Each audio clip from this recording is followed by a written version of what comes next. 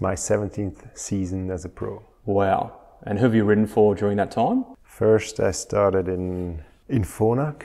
It was a Swiss team. Then I went to long time BMC. I was racing for Cadel Evans. How long for BMC? Uh, 11 years. Wow. Yeah, 11 years. It was a nice time. The BMC racing team. We did a lot of races internationally. Cadel with Greg van Avermaet, with Phil Gilbert, George Hincapie, which was a big mentor for me.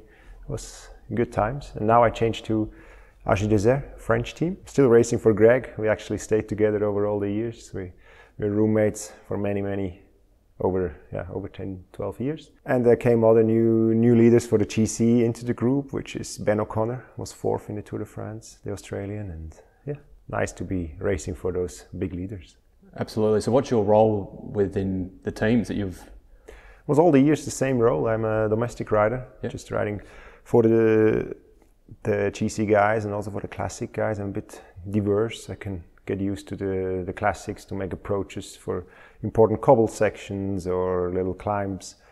But also I'm quite light for my for my size, so I pass over big big uh, passes and big climbs pretty well. So I can do also like grand tours. So I did a couple Tour de France's. Wow! And you say your size? How tall are you? One meter ninety six. Wow! Six foot five. Six foot five. Yeah. And how much do you weigh? 77 kilos. 77 kilos. Yeah. Wow. So we were talking about training earlier, and you were saying how much it's changed over the years. So when you first started to become more professional, what what year are we talking? Yeah, I was 2006 starting being professional. Okay. Then the sport was very different. It was more you trained from home. You had okay. a home trainer that gave you the, the training, and you just did actually just long hours. It was all about volume. Yeah, okay. it was really volume, volume. We did the longer the ride, the better it was considered. Okay, it means we did five hours, six hours, seven hours. A 200k day was it was always a good day. Right. And mostly, if you arrived empty and tired, and the, the more the more fatigue you could accumulate, the better the training was for us supposed to be. That was the mindset right. of the old pros. And you, you were telling me earlier about the um, nutrition intake as well was a lot different then. What what happened? Yeah, there was a big big change. At the beginning, we we just went out mostly not small breakfast or even empty. We did uh, low carb rides a lot, which is not done at all anymore nowadays. So we went out, let's say for a five hours ride, two and a half hours in, no food, no yeah, maybe a bottle with a little bit of syrup inside.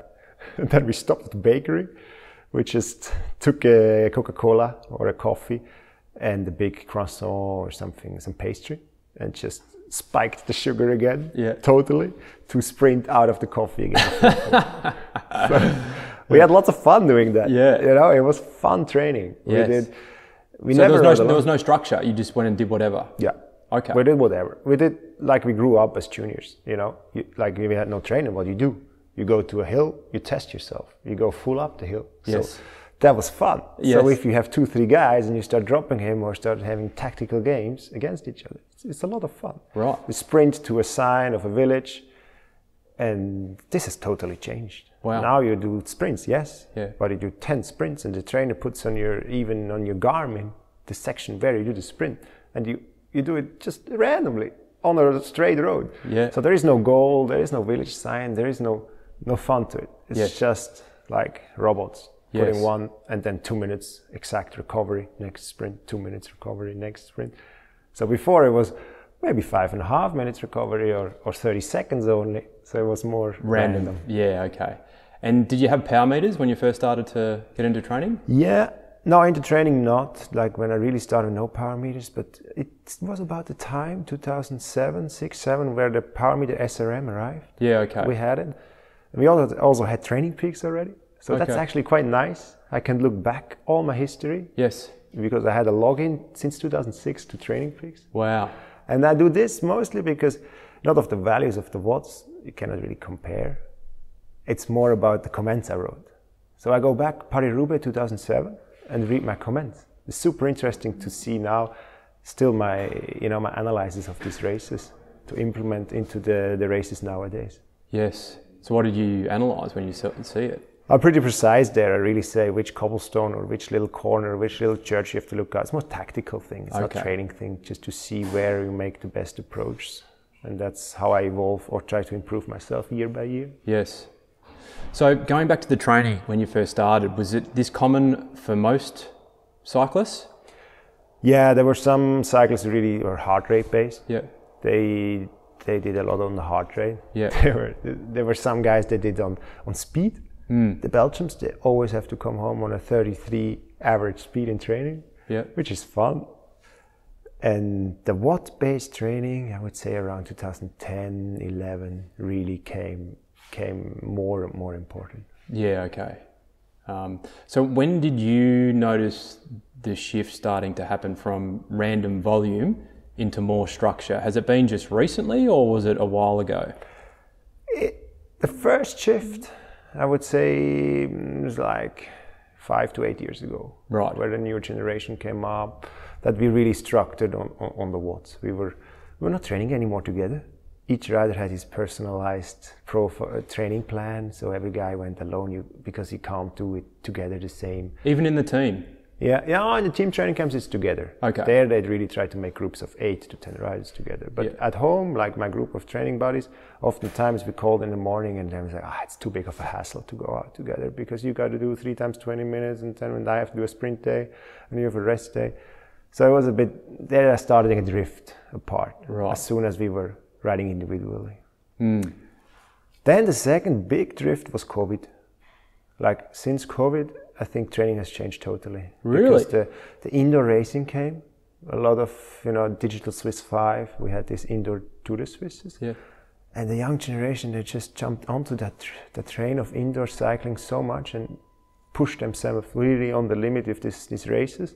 And also the trainers, they, they saw this has potential and they put a lot of, of training. Since then, definitely the bunch has changed. And we, a lot of my teammates, we analyze that oftentimes on dinner tables that we say, since this infamous Tour of Dauphiné 2020 was one of the first races back, which we were just flying. Like we came in and we raced full full. It was just from the start. There was no pit stop anymore. We go out and we just race. It was And- bang bang. Yeah, it was bang bang. Yeah. and that has changed a lot. And yeah, I think eh, So it's made people stronger. Yeah, we are stronger for shorter time. You know, we are more every race. We're looking at it as a competition that counts. Right. Before we had, I had building up races. I did a little bit Valencia, a little bit preparing races for the classic, and a small stuff where I had no pressure, nothing. That doesn't happen anymore. Because before I had, before COVID, I had 90, 98 race days a year. Now, this year, I had 58 race days. That's a lot less. Yes. and that means a lot less race days. Is a lot less a lot more pressure on that actual day. You're much more prepared so everybody's more prepared the lift the level is higher. Yes. also the kilometers a year. My normal years was 37,000 kilometers a year. And this year I did only 27,000 that So- means 10,000 less is almost 30% less. You know Wow. that means every training is more structured and more precise. So I go out now, I go sometimes two and a half, three hours. Ten years ago, I would not put my bibs on for two and a half hours training. You know, it was not even, it was a little bit of a rest day, right? Yes. And now these two and a half hours are full, full on. I go out, after 10 minutes, I push my set button and I do repeated efforts. Like last time I texted Greg before Canada and I told Greg, you don't believe me what happened? I'm now 36 years old and it's the first time I had to stop and jump off my bike because I was that much dead. I was, you know, the effort of the training was so hard that I did like six times two minutes with two minutes recovery. Yeah. But this after the sixth time of the two minutes full out, I don't know, six, seven hundred watts or something, I just collapsed. And I said, fuck, this never happened before. Before we just, you know, we just rode. So when you train hard now, you train harder. Yeah. Yeah. It's polarized. That's the other part that has changed. Yes. Polarized. We go either all out or we go endurance easy. Right. The easier than we know. Because the old style of pros, you go out and you put a, you know, put the 300, 350 watts the whole day. You just ride and ride and drag and drag, and the stronger you get, the bigger the engine gets. Hmm. Was the idea. And now our trainers always have to put us back. They say, guys, go easier. Don't go those 300 watts all day long. Go 150 to 250, you know, go easy. Just cruise for six hours and come home and don't be totally empty on a hunger flat. You know how many times I'm living on a little hill? I always came home hunger flat, like totally out of sugar. Sometimes I, I creeped up home. Now, since two, three years, I eat like I have to eat in the you know proper strategy of food. You, you were saying before having a gel in the first hour. You never used to do that. No way. a gel in training. This was a shame. If, really? If, if, a neo pro took a gel in training, the whole group laughed. Really? Yeah, yeah. Wow. What and about now, now? Now everybody orders the gels at home, and we eat the gels the whole day. Right. It, wow. Unbelievable. Yeah, changed a lot. Yes. And you were talking earlier about the, the juniors or the the uh, more elite pros seem to be getting younger. Why do you think that is? Because of the training? Yeah, they're younger and earlier ready to be pro. Because when I was pro, I was also early pro. I was 19 years old in a time where it was different. So I, I was getting pro and I knew nothing about the world of being pro. I didn't know about nutrition, about training, about anything. I was just getting, I got dropped in the cold water. Do you have a coach? I had a coach, yeah. It was my father. Oh, okay. you know, right. I was not a old coach. school. Old school. Old school, going yeah. riding and just going as hard as you can. Yeah. But now the young guys, they're so ready to be pro because they live since in Europe it's like this. They go to sports schools, and when I was school, young, I had no sports school option. Mm. I was going to a normal proper school till 4:30, and then run home as fast as possible. Went on the bike one and a half hours, all out. Came home, slept, next day school and the young boys now, they go to the sport universities, the sport schools, so the, the afternoon is mostly free for training. Wow. So they and have, this is across Europe, you were saying? These I would really, yeah, yeah, I know my French teammates all did it.